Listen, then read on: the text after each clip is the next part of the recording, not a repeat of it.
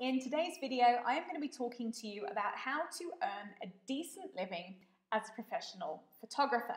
Once you've watched this video, you're going to have five implementable strategies that you can use in your photography business to help you generate more income and to build a more enjoyable and more reliable creative photography business. So let's get started. And um, the first thing you want to be considering when we're talking about you know earning a proper living as a photographer is what does a proper living look like for you? This is going to vary wildly from photographer to photographer. So what you want to think about is how much money does your business need to generate so you can survive each month? What's the figure you need to bring in to be able to pay all of your bills and your costs? So you need to go through your bank statements and to get a really clear understanding on what that figure is. And then I'm going to invite you to think about how much money you would like to make each month in order for your business to thrive. That is to make a profit on top of just paying your bills. We don't exist just to pay bills, and we need money for fun, for reinvesting in our business, for travel, for new kit, and for doing life. Our businesses should be our vehicles for doing life and not the other way around. So I highly encourage you to start to think a little bit bigger and work out what that figure would look like to cover your costs and make a profit. No starving artists here, please. We are allowed to make a decent and good living from our photography businesses. That is what I am all about. So, to do this, you need to get really clear on your personal and business costs that you have each month and to understand exactly how much money your photography business needs to bring in so that you really you cover all of those bills your car repayments school fees you know medical insurance um, subscriptions any loan repayments those sorts of things. We need to get really really clear on that. And then get clear on what you'd like to be making on top so to help you with this exercise, because it can be a little bit of an uncomfortable and unpleasant exercise to go through, I have prepped a really handy pricing guide PDF, which you can get hold of in the video description. Just click the link in the video description and you can go through and you'll get a download to help you work through all of your expenses and your costs. Um, and that will give you a foundation for how you're going to be pricing your photography work, which I'm going to talk a little bit more about just now. The second thing we need to consider with our business is who is your work for? Who is buying your photography? And to make a proper living from our work, we need to be really clear on who we're selling it to so we can make our marketing messages and the, the work that we're sharing really aligned with those what we would call ideal clients. And in my not so humble opinion. Um, the best place to start with this, if you're a little bit stuck, perhaps you're a new photographer, or perhaps you've been running a business for a while, but you are literally spinning your wheels and you're feeling a bit stuck and fed up, is to think about the sort of work you would make if you weren't being paid. What would you go out and shoot for free? Um, for me, it's it's photographing dogs, which is what my photography business is really geared up around. I have built a business around this niche of photographing dogs. I'm going to be talking a bit more about niches and specialist creative stuff in, in upcoming videos. But that's a really good place to start of what really lights you up when you are you've got your camera in your hand. What kind of work do you really enjoy making?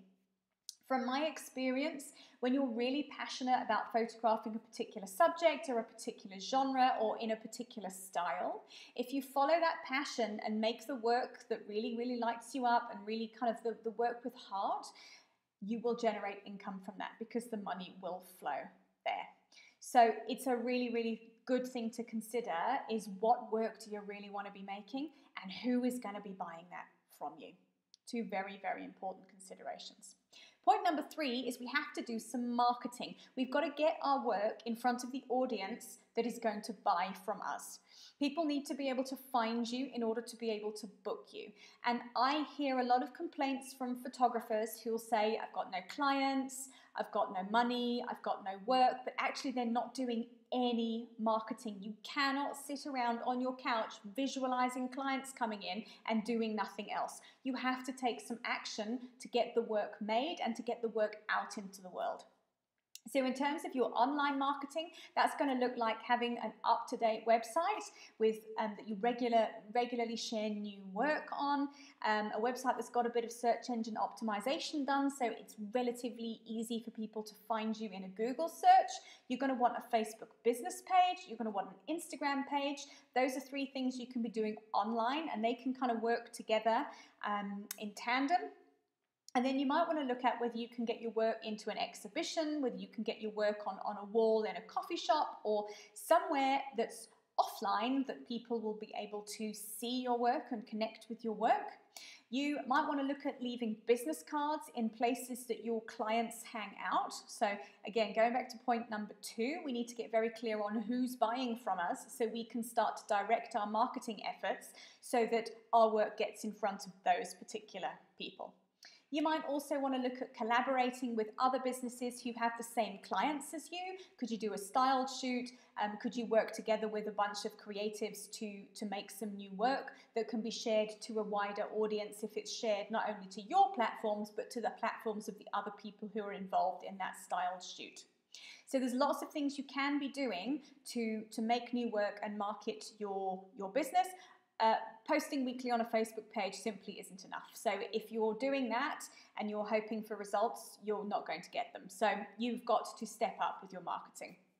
And it's important to make time each week to do some marketing because you'll find that when you consistently market your business, you will get consistent client bookings in. These things don't happen overnight, it's a process. So you need to just be consistent and keep doing the work, and the results will show. Point number four is to make sure you're pricing your work correctly. And this means pricing your photography so that you cover your costs and you make a profit from each job that you do Again, please refer to the pricing guide I talked about if you need some help with working this out. Your pricing should be based on your cost of doing business, which will be individual to you. You shouldn't be pricing your work based on what the photographer up the road is doing. Uh, often I'll hear, you know, photographers look at what other people in the area are doing and think, oh, I'm just going to undercut them. And it doesn't work. All that happens when everybody starts undercutting everybody else is we all end up on a long race to the bottom. And that's not a race I think anybody wants to be in. So make sure you have got your work priced correctly um, and that you've got your, your messaging um, teed up to those ideal clients that we've just talked about.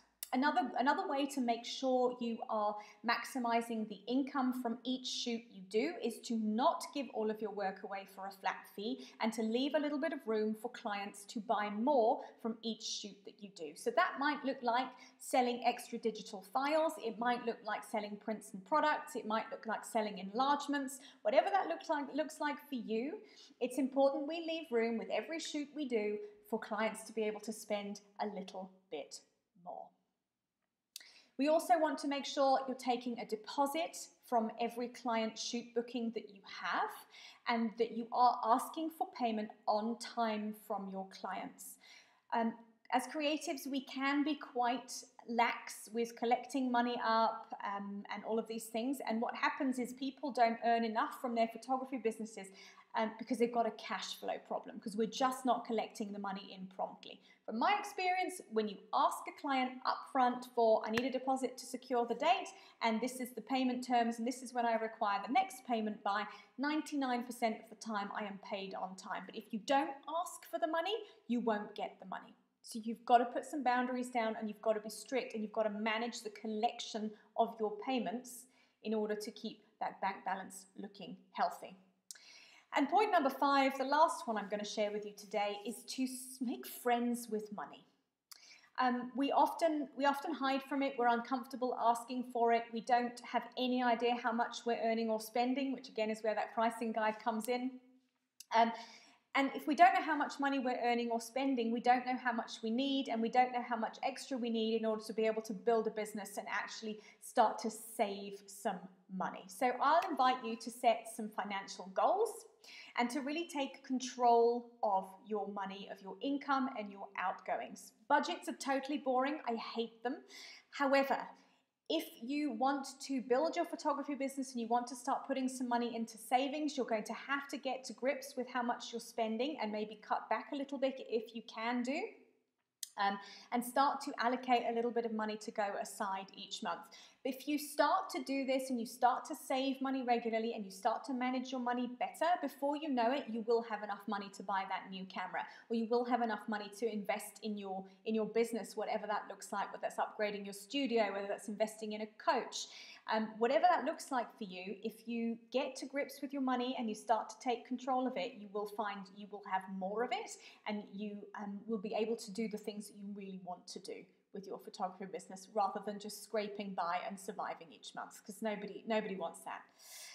Um, these are strategies I'm sharing with you because they're the exact strategies I have used in my photography business that took me from earning just about a thousand pounds a month and literally scraping by to generating consistent five thousand pound plus months with just my photography business.